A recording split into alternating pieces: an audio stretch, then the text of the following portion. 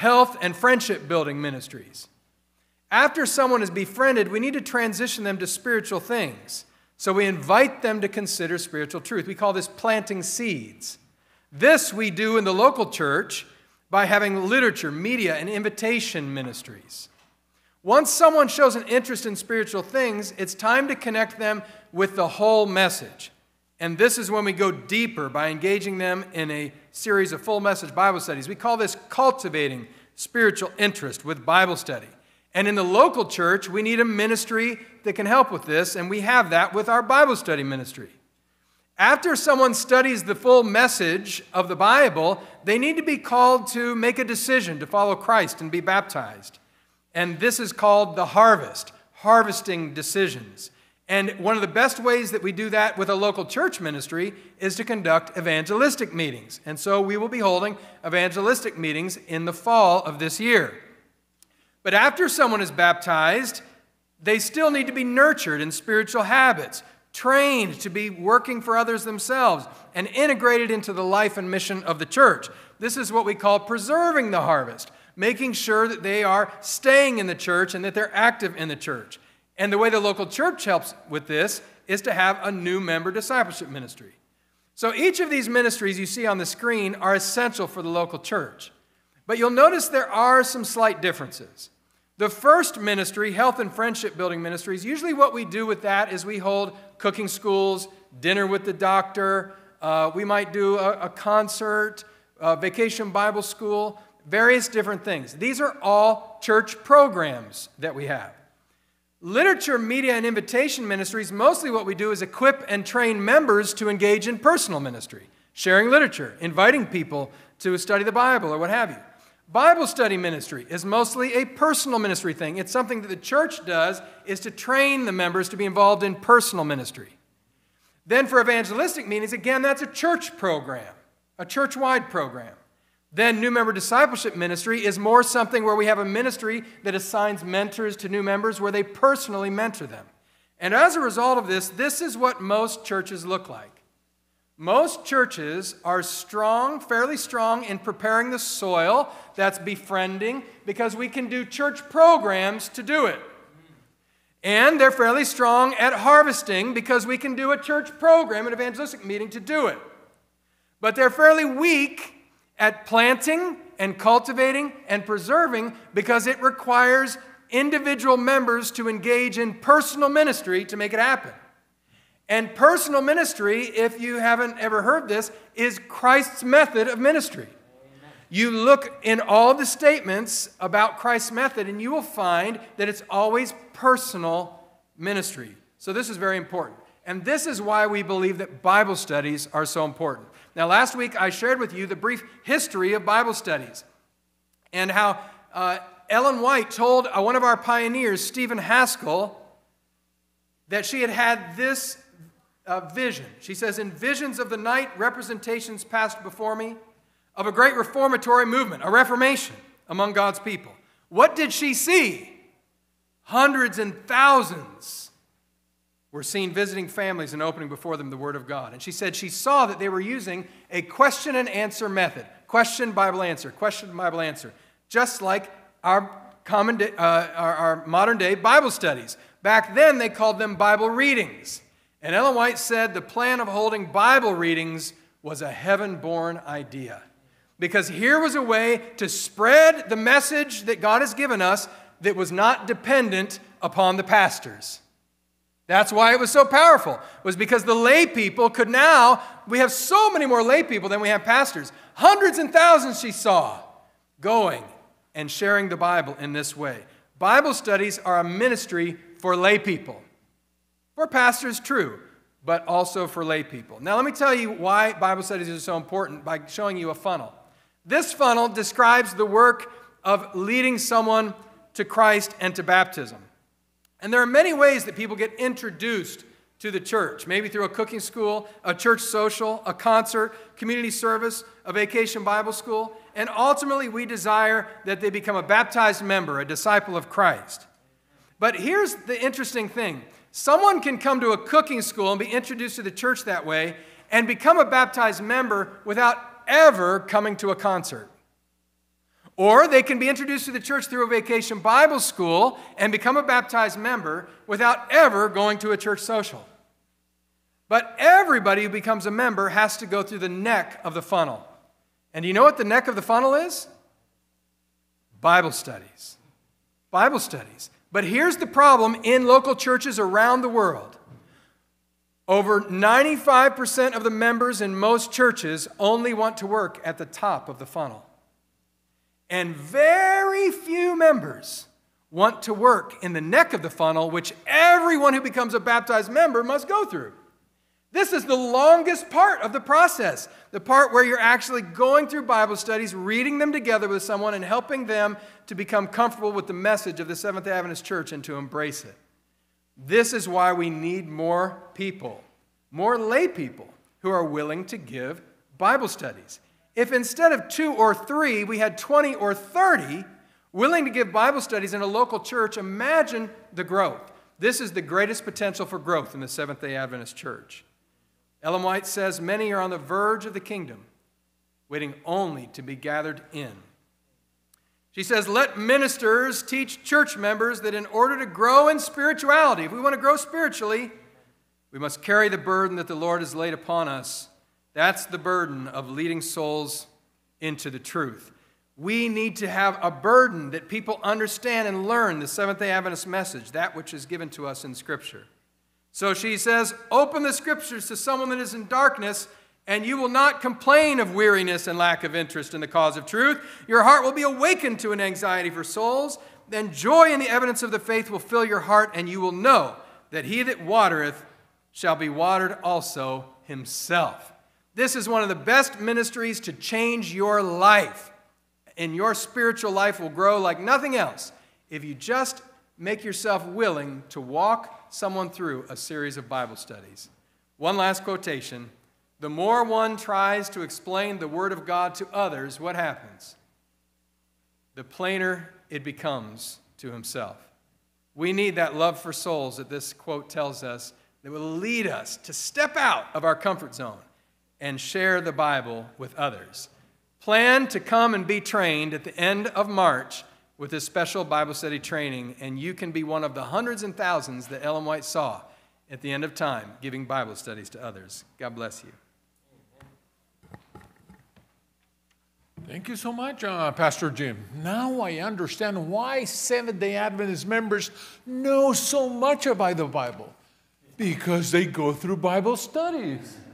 And uh, you will remember that uh, many people from other denominations, when they, they come to our homes and they knock on our doors and they want to engage in Bible studies with us, when we tell them that we're Seventh day Adventists, they get scared a little. Oh, these people, they do know the Bible. And we encourage each one of our members so that we can be engaged in Bible study, in teaching the Bible to not only to our members, not only to our children, but those who are becoming church members too. We have a few announcements uh, to share this morning. And the first one, uh, you received a, a, sheet of paper uh, when you came in this morning.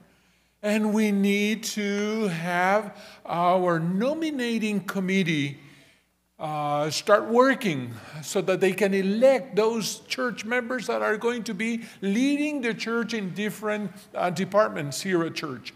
So you received uh, this uh, sheet of paper. If you did not, I see Alex there, uh, one of our deacons. Uh, if you can put your hand up so that he can give you one of these sheet of papers, and you need to put there five names that you consider should be the nominating committee. Those uh, members that will check on our names and will check on the names of uh, our church members so that they can propose to us who are those that are going to be leading our church in the different departments for the years 24 and 25. Uh, there's a little asterisk there. And it's not that we want to dismiss uh, these people that have uh, that asterisk. They have been working in our church, they're members of our church, but because they served on the nominating committee uh, last year, we are asking them to kindly not participate this year in the nominating committee. They will be, for sure, they will be able to serve in other departments uh, in the church, but not in the nominating committee. So please check on the names. Mark five that you consider that they should be part of the nominating committee. And when our deacons come, uh, to get the offerings in a little while, you can hand these uh, sheets of paper also uh, to them. We do have other announcements, and I am going to ask Beth that she comes up here and she's going to share with us also an announcement that uh, she has for the church. So, good morning, everybody. Is everybody ready for tomorrow? What's tomorrow? Awesome. So 10, 10.30 tomorrow morning, Rachel and Justin are going to school us in all the fine arts of kimchi. And remember, this isn't just one kind of kimchi for those that are like, nope, want no part of that. Um, there's different flavors that Rachel's been working hard on, and so it's going to be exciting um, to see what they have in store for us. Um, I'm also excited to say I've had several women reach out to me via email um, and they, there's some other options that are in the works for the months to come, so I'll be sharing more about that soon. Perfect. And for those of, those of you that don't know what kimchi is, come tomorrow. All right?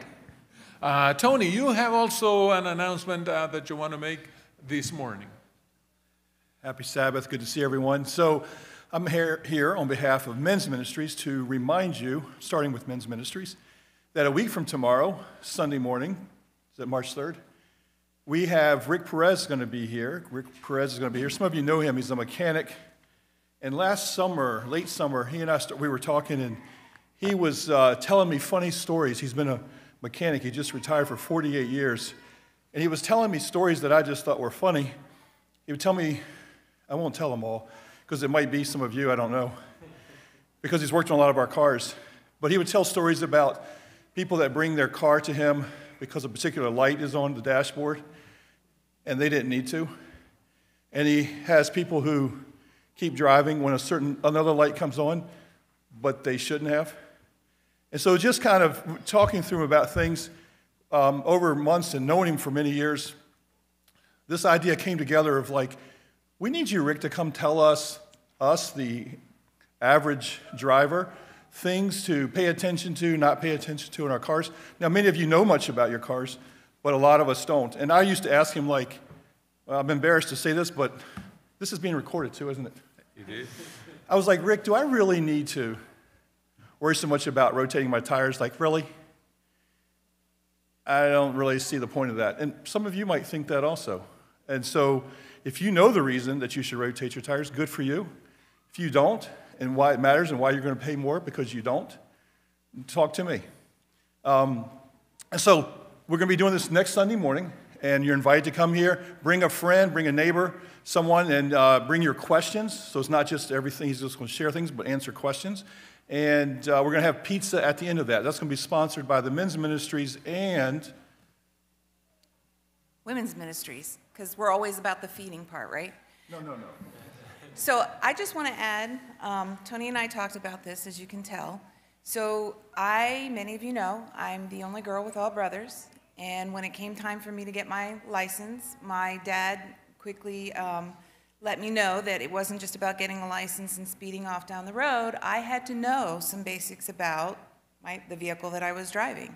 And so I would like to encourage not just the men to come out and be gearheads, and this is not going to be a crash course in becoming a gearhead, but it's really important that we understand and know too. One, so we're not taken advantage of when we do need to take it to a mechanic, because there's not a lot of Rick Perez's in the world. And what we, what, how, what we need to be looking for when those lights come on.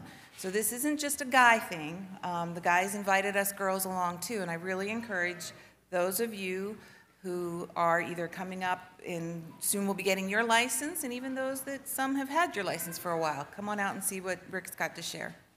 Thank you very much. So, for all those men in the church that think that they know it all, they can have the excuse that you're bringing your wife to learn. But I'm sure that you will be more than educated uh, on that Sunday. So we invite everyone to be here at, uh, at our church on uh, the following Sunday, not tomorrow, but the next one. We also have a second reading for um, members that are coming into our church and members that are leaving our church. And I am going to read it out of our bulletin. If you want to open your bulletin and you want to know who are those that we're voting for today, uh, you can see it there. The second reading is for Sarah Klingweil, that uh, she is becoming a member of the Linz uh, Church in Austria.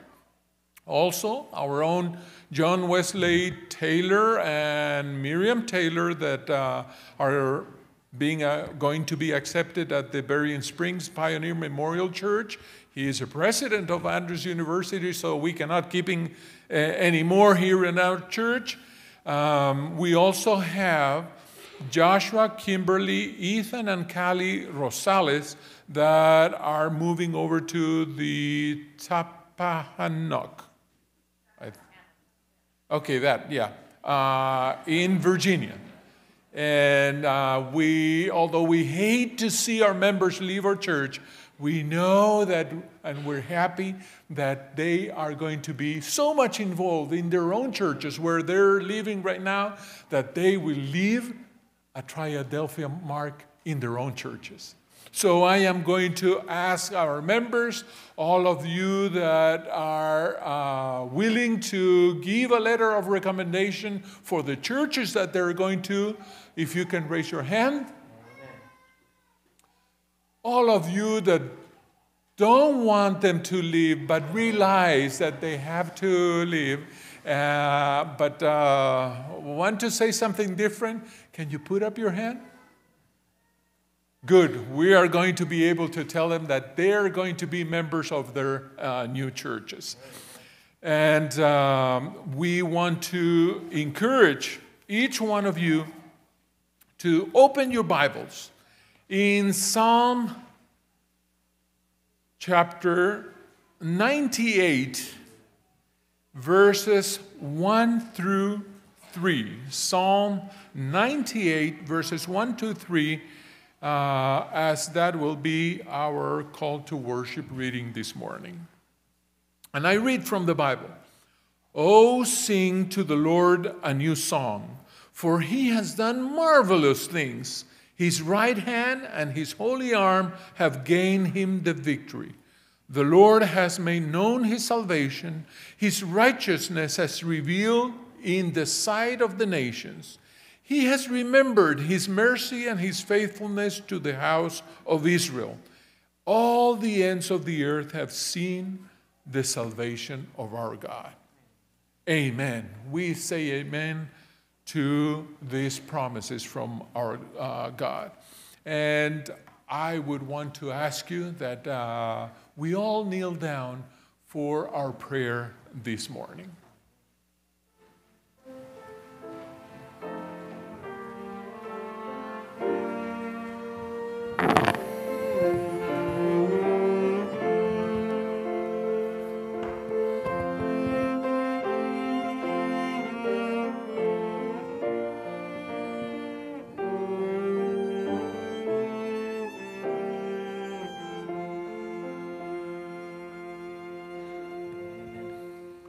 Once again, dear Lord, we want to thank you for the Sabbath day. We want to thank you, dear Lord, because you allow us to have the freedom to come to your church, your place of worship, not only so that uh, we can engage in conversation, in dialogue, and in study of the Bible, but we can also fellowship together. We want to ask you, dear Lord, that you please be with us this morning. Especially, we want to ask you that you anoint Pastor Sam as he shares his thoughts with us. May we keep those thoughts, may we learn from them, and may we share them also with those that don't know you yet. In Jesus' name we ask, amen. Amen.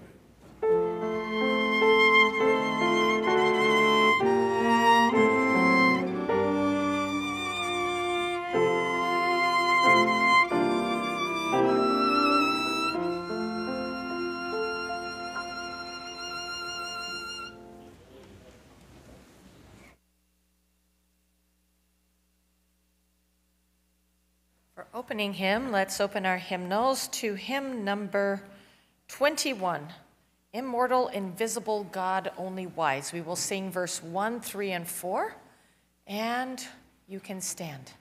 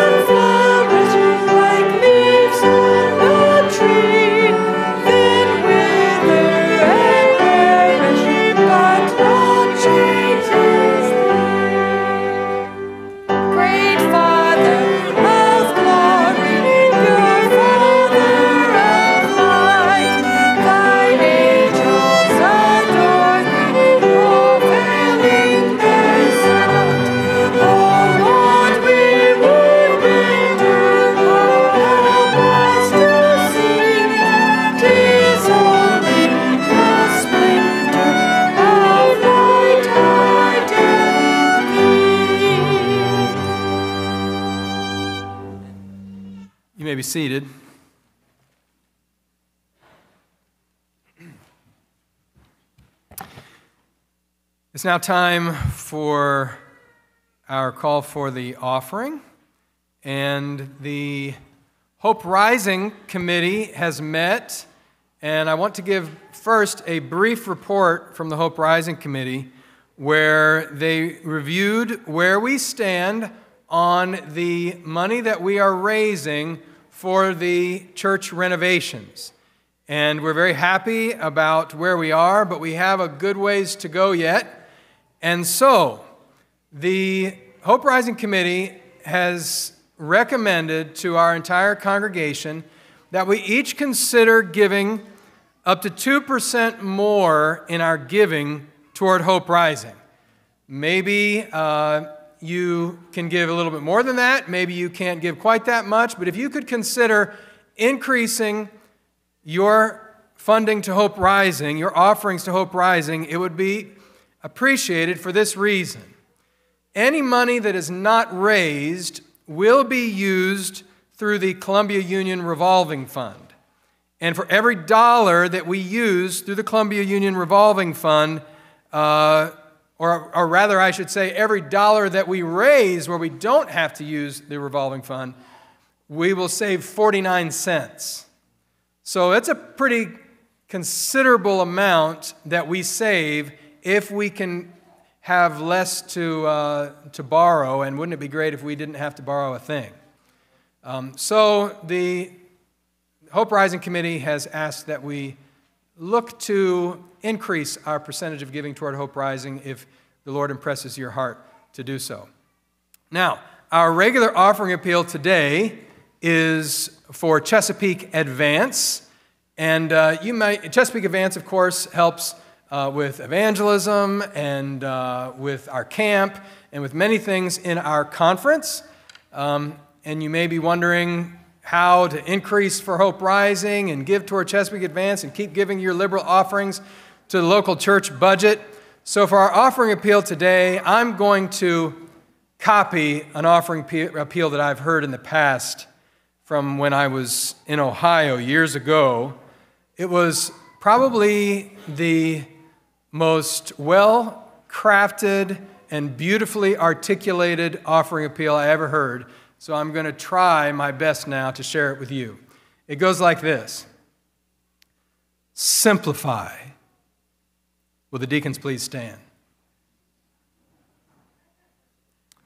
Our Father in heaven, we're so grateful for the privilege of being able to give. We wouldn't be able to give if you had not first given to us. And so, Father, we pray that you would bless the funds that will be collected just now, bless the individuals who will give, but also, Lord, that you would work upon our hearts to consider how we might give even more liberally in the future. So bless us now, Lord, with your presence, and bless these funds for the furtherance of your kingdom, we pray. In Jesus' name, amen.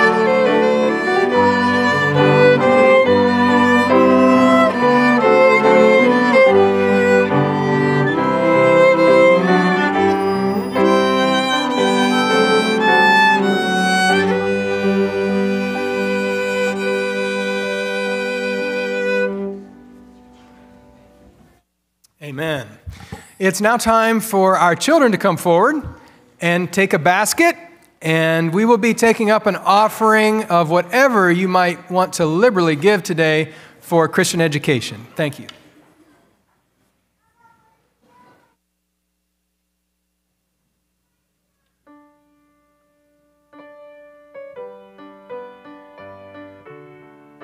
Two eighteen, while they are picking up the offering, when he cometh. When he cometh, when he cometh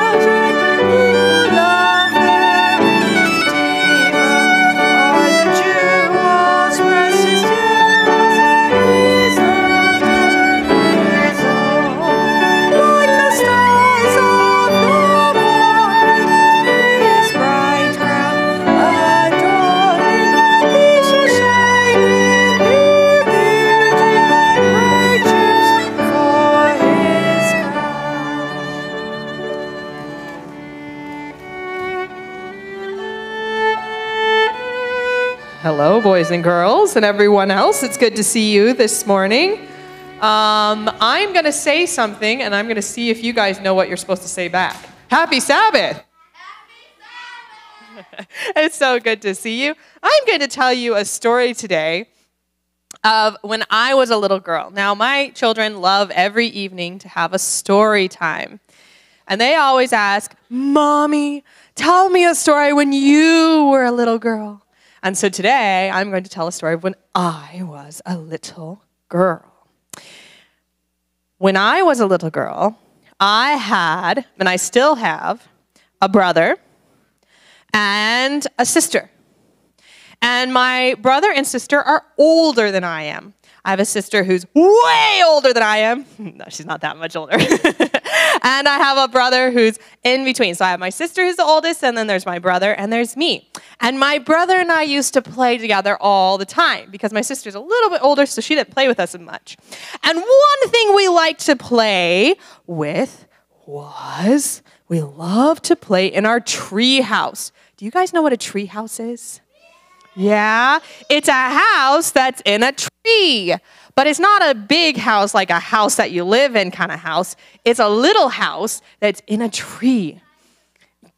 Yeah, maybe more like that, but it was a little bigger than that. But you know what? We would go up and we, we, we had this little ladder that we'd go and we'd go up to the top and we'd look out and survey the land to see who was coming. And we loved to do that. So we would go and we'd look and we'd say, hello out there. And then we would play some games and we'd go up and down and around the treehouse. Well, we also had something called a pulley. Now, I don't know if you know what a pulley is, but it's something like this. You have a rope that's wrapped around um, a stable thing, something that's stuck in place. So it was a tree branch, we had it wrapped around. And then you have two parts. You have one over here, one over here. And we had a weight on one side that was heavy. And then on the other side, we had a platform, like a flat piece. And what we would do is if we wanted to get something from down below on the ground, we'd stick it on the platform, and it had to be lighter because the heavy thing goes down. So it had to be lighter, and then the, we'd put pull on the weight, and it'd go. I can't do it because I don't, I don't have two hands here. Hold on.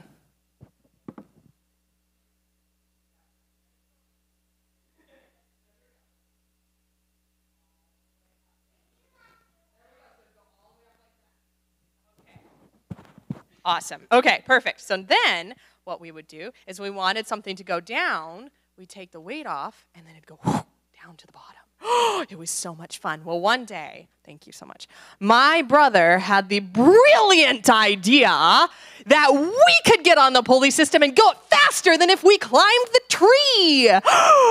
do you think that's a good idea or a bad idea? It's a bad idea. But you know what? Sometimes when our brains are not fully developed, we think things are good ideas when they're bad ideas. And so we decided we would try it.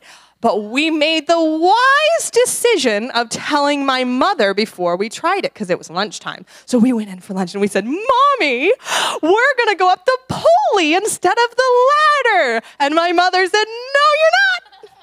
Because that's not a wise decision. Oh, but we thought we were so wise. We thought, mm, I don't know about that. So we got outside and we started discussing what my mother had said. We started talking about it. And I said, Well, we probably should listen. And this was the one time when generally my brother and I, when we got into mischief, we agreed on mischief. But in this one, I said, I think it probably would be better if we didn't do that. But you know what my brother said? Oh, well, I we could just try it once. It might not hurt anything. And I instead of listening to my mother, now sometimes somebody might tell us, hey, it's okay if you do this, even though somebody told you not to. Should you listen to that person or should you listen to what's right? You listen to what's right. Just because somebody else says, oh, it's okay, it's not going to do anything, should you listen? No especially if your mommy and daddy say, don't do that. Well, we thought we knew better, um, and so we decided we would try it. So, my brother decided he was going to get on one side because he was a little heavier, and he was going to go on this side, and he would hold me down. And I And I'm going to use the angel because I was such an angel when I was a child. No, I'm just kidding. It's the only one I had. So, okay. And then I put, went on the other side because I was lighter. So I got on the other side, and he got on the one side, and he started to pull me up, way, way up. and I got to the very top, and it was really cool. But do you know what happens when a rope has been rubbing on something for too long? It starts to fray, which means it starts to not be as strong. And so if you put something heavy on a rope that's not very strong, what's going to happen? It's going to break. So I got to the very top, and guess what happened? It broke. And I was at the very top of a very high place. And instead of coming down gently like my brother said I was going to do,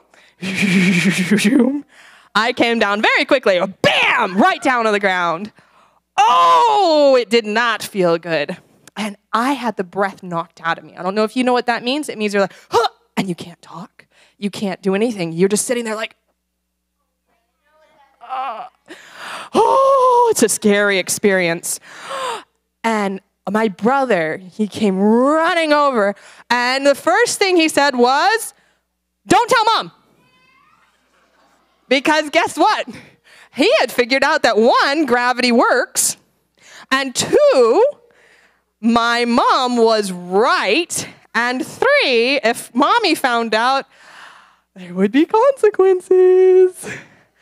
And, but guess what happened? I took a deep breath and went, Mom! At the top of my lungs. And guess who came running? Mom came running. And she told us, you know what? I do think that you have had a very valuable lesson today. And Ruthie, you are sore enough I don't think you need any more consequences because I landed on a very sensitive part of my body and I landed very hard. so she did not give us any consequence at that point because we had had a big consequence right then. I think my brother might have had one. I don't know, but I didn't remember. But I know I didn't because I um, was hurt enough. And you know what? that is a lesson to me, just because whenever in life I learned from that because I thought, you know what? Next time somebody tells me to do something I know my mommy or daddy has told me not to do, I'm going to listen to my mommy and daddy because I was hurting for a long time. Thankfully, I didn't break any bones and I was didn't get killed or anything like that because that could have happened. I could have died or I could have been hurt even worse. But because Jesus spared me, and I'm very thankful for that, I could learn that lesson of when mommy and daddy tell me to not do something, I shouldn't listen to anybody else. I need to listen to what my mommy and daddy are telling me. And you know what? It's the same. When Jesus tells us something, we want to listen and not listen to other people who say, oh, I don't know, it might be okay. Let's listen to Jesus. Say, I'm going to do what Jesus tells me to do. Because the other way, we can get hurt really badly. Let's pray.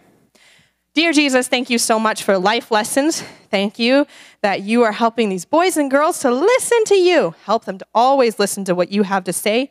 And when other people say, hey, it's okay, it's not going to hurt you, help them to listen and say, no, I'm not going to do that because Jesus has asked me not to. Help us be like you. We love you. In Jesus' name, amen.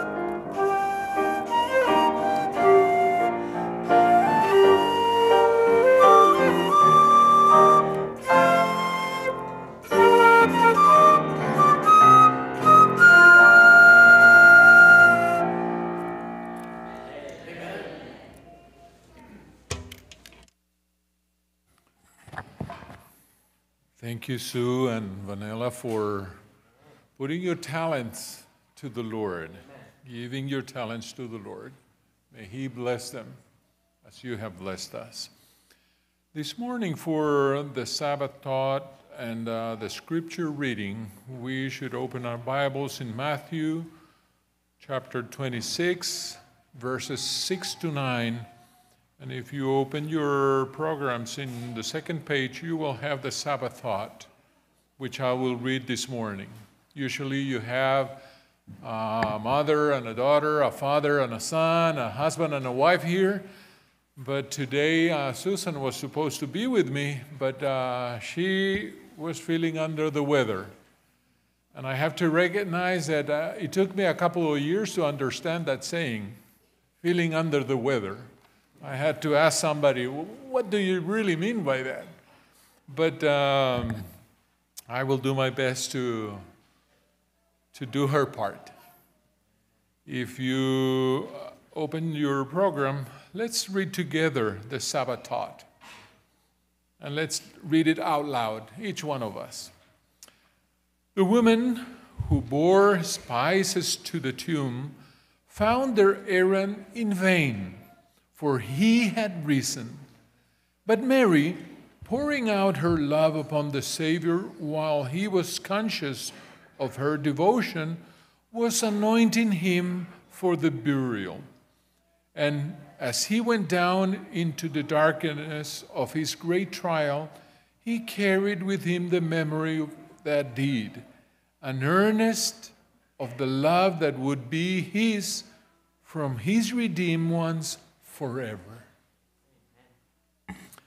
And Matthew 26, verses 6 to 9, on the same story, goes on saying, And when Jesus was in Bethany at the house of Simon the leper, a woman came down to him having an alabaster flask of very costly fragrant oil, and she poured it on his head as he sat at the table.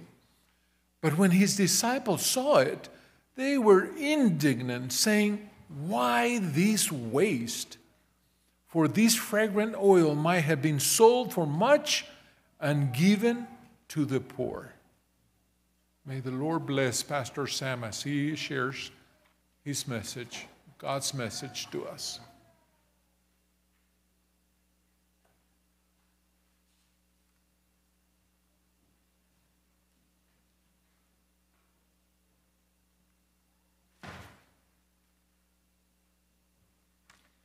Good morning, church family. It's been a while, hasn't it? Yes, but we've been blessed by some incredible speakers here at our church. Amen. Um, last week we had um, Sister Audrey Anderson. Powerful message. Amen. Were you blessed? I was incredibly blessed. And then the week before we had our Pathfinders and Adventurers. Amen. What an amazing, amazing message they gave us about putting on the full armor of God. And we have much to be grateful for. Amen? God's grace, amazing grace toward each one of us. And in many ways, I am grateful um, for one more year of life. Amen? On Wednesday, um, some of you know was my birthday, and then last week, um, Elder Remmers um, shared with, with our church family during our fellowship lunch and got to hear happy birthday. And, and grateful also for my wife because on Friday was her birthday. Some of you know that as well. And so, so we get to celebrate um, together the same month. And some of you also um, had a birthday this month of February. But again, just seeing how merciful God is. Amen? He's taking care of us up to this very moment. And I would like to also express my gratitude for my parents, who I got to see a few weeks ago and got to spend time with dad and mom. And as some of you know, mom had a stroke and she's recovering and she's doing actually pretty good. She doesn't think so but we all think she's doing pretty good. She can walk, amen? She can speak, amen? And she can still use a little bit of her left arm, amen? And that's a lot of improvement from where she was in the month of November. She was in the hospital, she was not doing well at that moment, but she's doing much better. And so we continue to pray for one another. Amen? And we continue to encourage one another. And today's sermon is, is about that. It's about God's amazing grace toward each one of us. His mercies are amazing, brothers and sisters. And the reason why we come to churches to show our gratefulness. Amen? And to let people know that there is a God who cares for us, who's taking care for us. Now, I know this week we also received some sad news. Yes, and so we are praying for Sister Linda. Amen? We're praying for her health.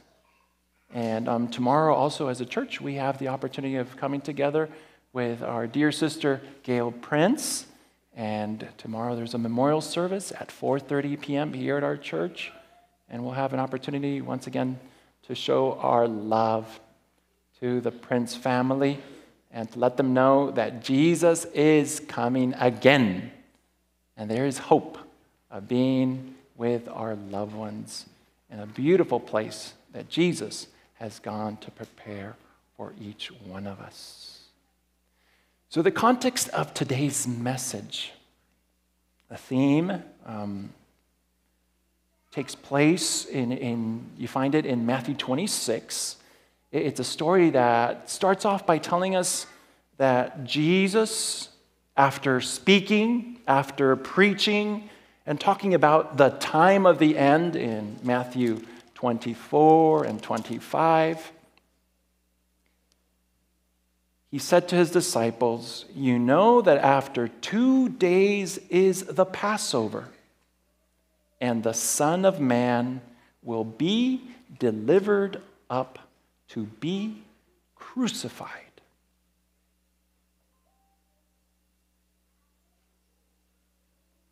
That message went in this ear from the disciples and went out the other. It's like Jesus never said it. They had another plan. Their plan was better. Jesus was supposed to be the king of Israel. Jesus was supposed to reign among his people. Jesus was supposed to get rid of the Romans who were oppressing his people.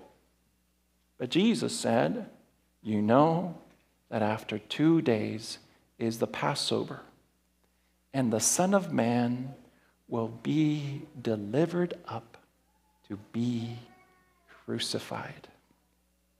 You see, Jesus knew that there were those who did not like them, like him. There were those who were plotting to kill him. And these were the chief priests, the scribes, and the elders of the people. In fact, they assembled at the palace of the high priest who was called Caiaphas. And they plotted to take Jesus by trickery and kill him, Matthew tells us. They did not want Jesus to be around. They wanted to kill him. But they knew that they had nothing against him. Nobody could say anything bad about him. So they had to lie about it. And somehow they were trying to get some help from the state and see if they could together take care of this situation. But they also recognized that it was Passover, a time when a lot of people came to Jerusalem, a lot of those who knew Jesus would be there. And they thought, oh, it's not a good time for us to do this, lest there be an uproar among the people. So, in this context, Matthew tells us, Mark tells us, Luke tells us, and yes, John tells us. It's the one story that appears in all four Gospels. The story of a woman. The story of a woman who was known to live in the city and who was known as a sinner. But praise the Lord, it's not just the story of a woman who was known to be a sinner, but it's also the story of Jesus and his amazing grace. Amen? It's a story of Jesus and his compassion, his love for all people. Yes, even those of us who make mistakes. Amen? Even those of us who fail. Even those of us who sin.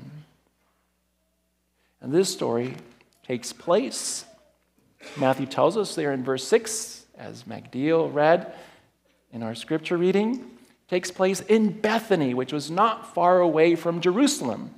And it says here that it took place in the house of Simon the leopard. Now, John tells us that it happened in the house of Lazarus, Martha, and Mary. Well, maybe this was the house of Simon, and he was letting them use it as well. Yes? Now, Simon, who was Simon? Luke tells us he was a Pharisee. Somebody you could say an honorable man. But Matthew tells us Simon was what? A leper. Now, isn't that the case, brothers and sisters? Most people know us sadly or remember us sadly by the things we do wrong. Yes? Simon, the what? The leper. Mary, the sinner. People don't remember us by the good things we do. Word gets around pretty quickly when somebody does something bad, huh? It runs like fire. Did you hear?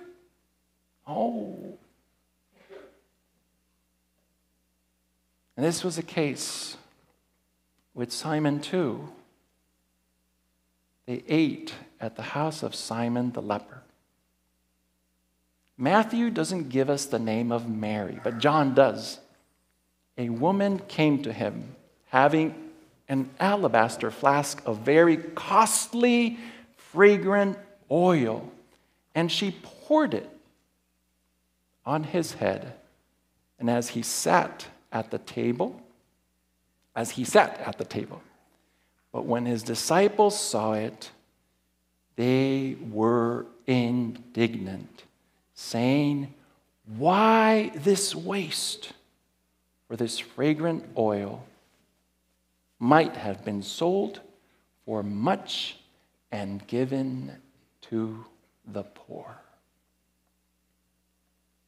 What did Mary do? She brought some very expensive, fragrant oil. And she decided that she wasn't going to wait until Jesus died but she was going to give him this gift before he died. Someone was listening. Amen? Not the disciples, not Simon, but Mary. Mary was listening. She heard Jesus. I'm going to be betrayed and I will be crucified. And she decided that moment she was going to do something very special. She would give Jesus a gift. John tells us one pound of this precious oil. I looked up on the computer how much is a pound? It's about two cups. Eight ounces for a cup. Yes, 16 ounces for two. And I also went on the internet and tried to find out what are some of these expensive fragrances that are out there today? And I found out that for one eighth of an ounce of jasmine oil, you would have to pay today $96. Doesn't sound too bad.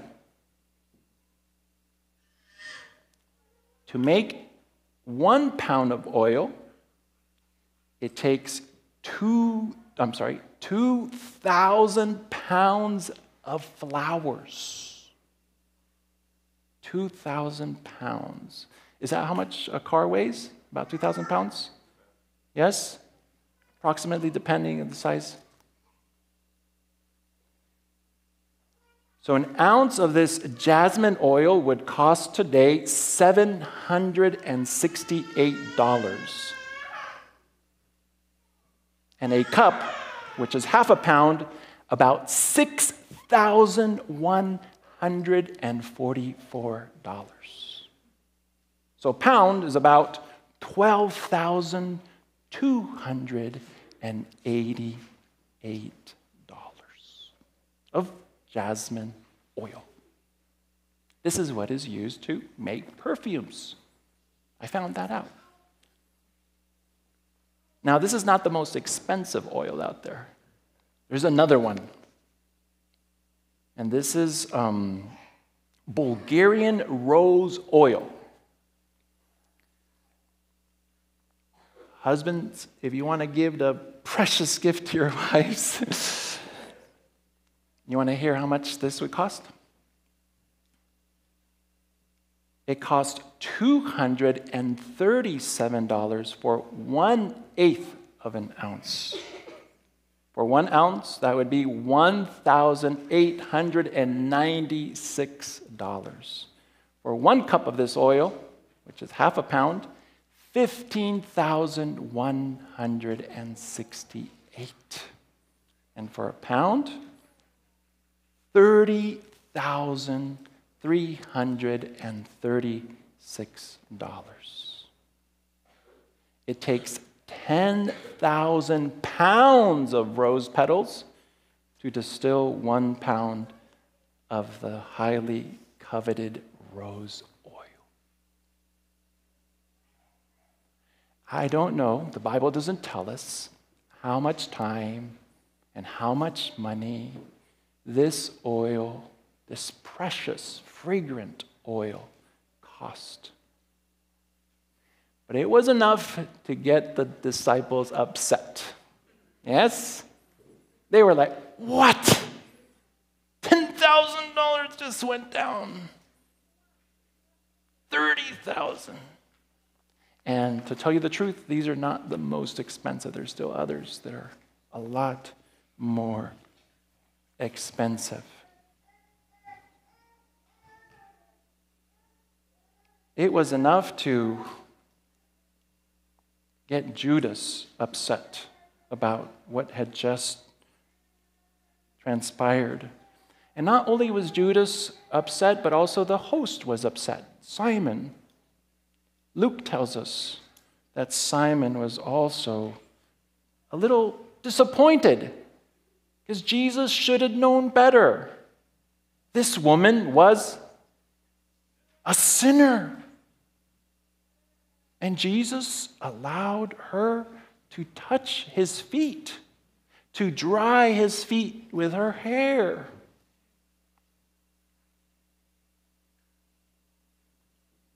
But Jesus, like always, responds differently. Amen? And he said to them, Why do you trouble the woman? For she has done a good work for me. Mary did a good work for who? For Jesus. That was the difference. She wasn't doing it for herself, but she was doing it for Jesus. And Jesus understood this. Jesus accepted this. Jesus was encouraged by this Someone's listening. Amen? Someone's understood the message. For pouring this fragrant oil on my body, she did it for my burial. And then Jesus says the following words Assuredly I say to you, wherever this gospel is preached in the whole world, what this woman has done will also be told as a memorial to her. Can we praise God for this? This story, wherever the gospel is being shared, including here at Triadelphia, this story will be shared as a memorial to her. Jesus could have done this very differently. He could have said, Judas, you know, I know exactly what, why you're upset. I know exactly why you want this money, and it's not for the poor. It's not to help the poor, but you want it for yourself.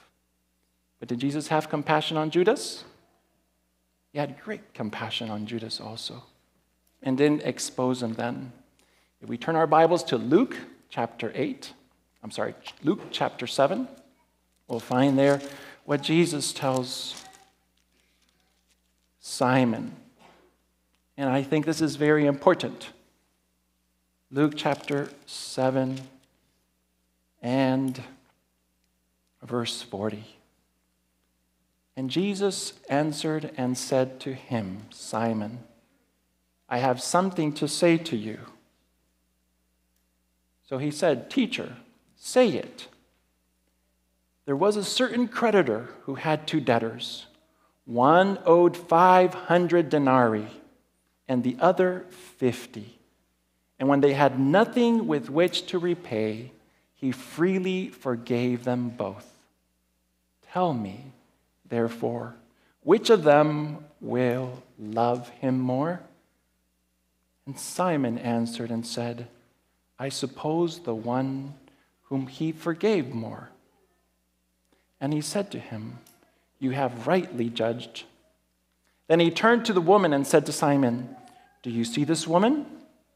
I entered your house. You gave me no water for my feet, but she has washed my feet with her tears and wiped them with the hair of her head. You gave me no kiss, but this woman has not ceased to kiss my feet since the time I came in. You did not anoint my head with oil, but this woman has anointed my feet with fragrant oil. Therefore, I say to you, her sins, which are many,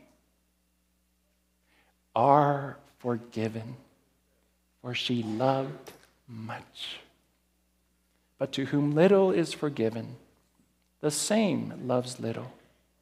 Then he said to her, Your sins are forgiven. Are our sins forgiven, brothers and sisters? Amen. Have we received an amazing gift from God? Do we recognize how much He has done for each one of us?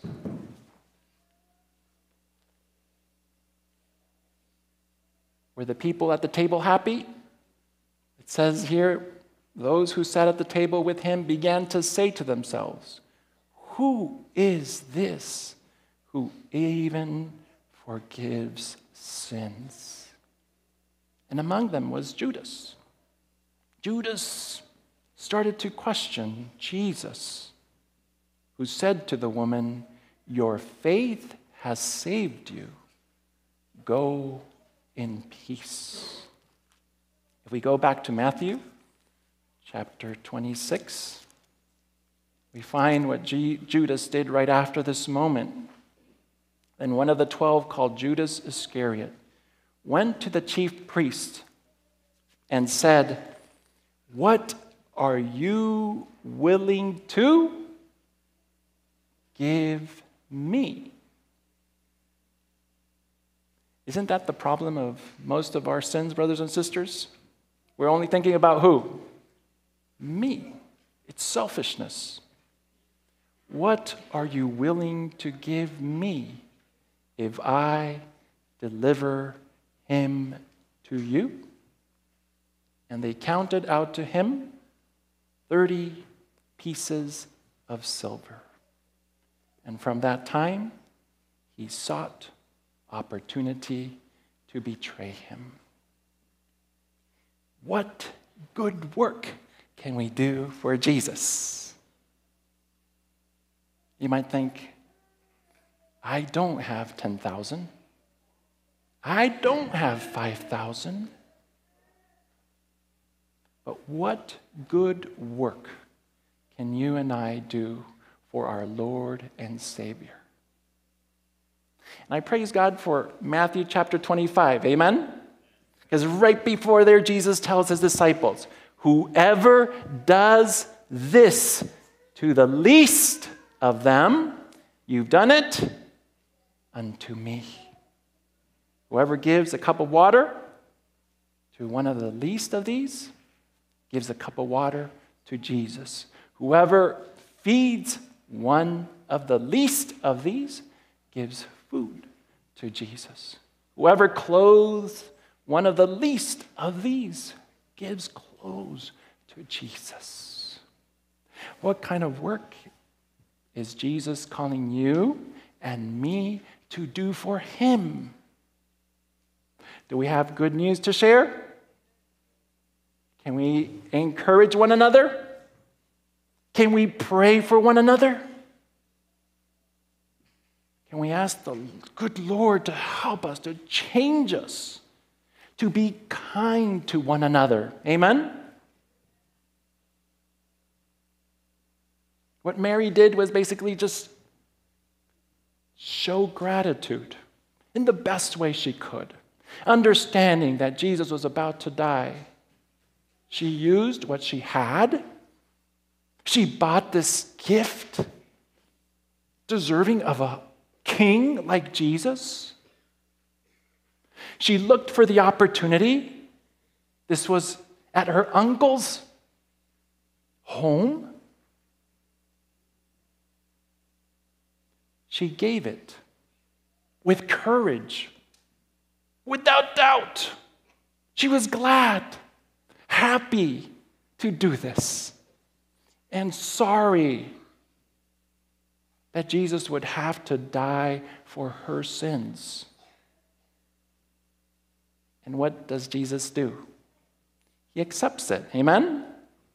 He rejoices.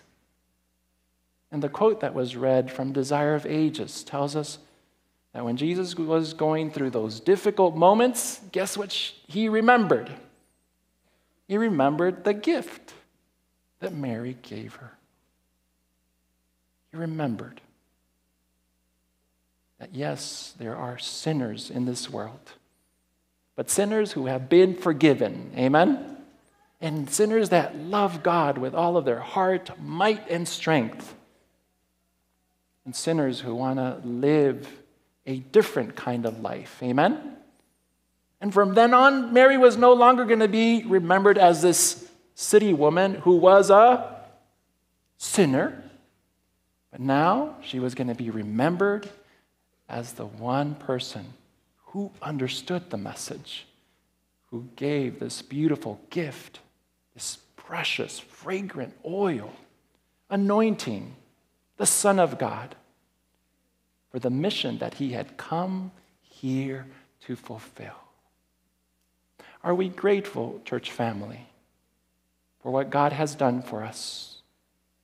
Do we show this by being kind to one another, by praying for one another?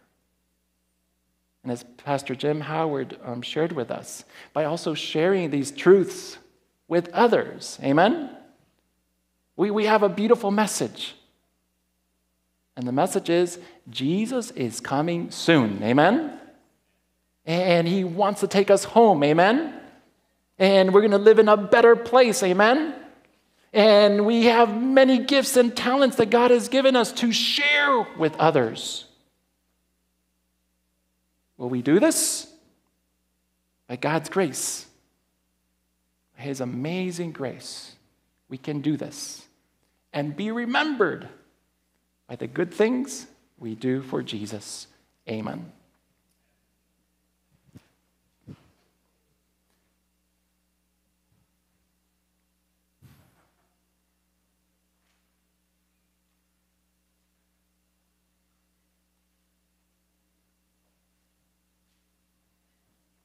Closing hymn is hymn number 187. Jesus, what a friend for sinners.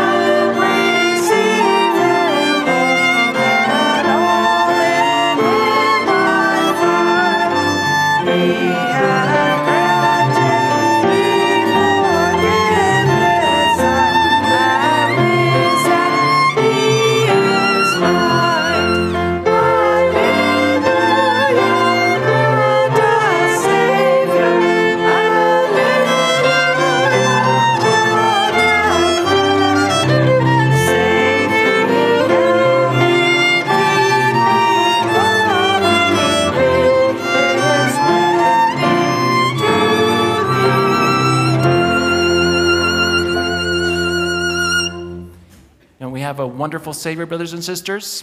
Amen.